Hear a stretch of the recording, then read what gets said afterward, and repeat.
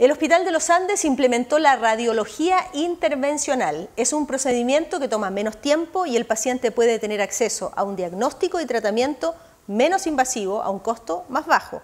¿Cómo funciona? BTV2 nos explica.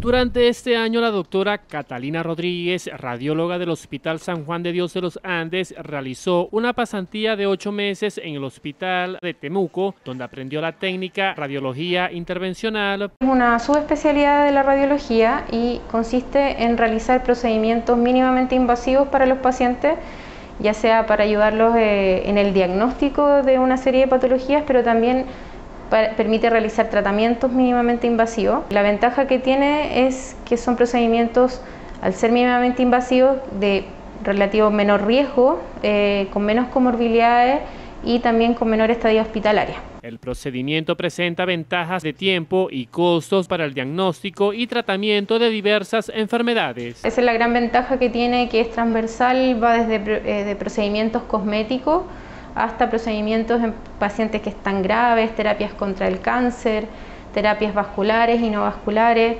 Y un ejemplo práctico es que muchos de nuestros pacientes pueden tener un cáncer o una sospecha de cáncer y se necesita obtener una, una biopsia o una muestra de ese tumor para poder iniciar un tratamiento y la radiología intervencional permite obtener esas biopsias con pequeñas agujitas y con mínimas molestias para el paciente. Permite resolver problemas diagnósticos, fundamentalmente y terapéuticos, de pacientes, evitando cirugías mayores y acelerando el, el proceso diagnóstico, teniendo eh, más precisión en las diferentes enfermedades que, afectan a los pacientes. El desarrollo de la radiología intervencional otorgará mayores alternativas de tratamiento a los pacientes con menores riesgos y menos costos económicos, familiares y sociales asociados a enfermedades tan complejas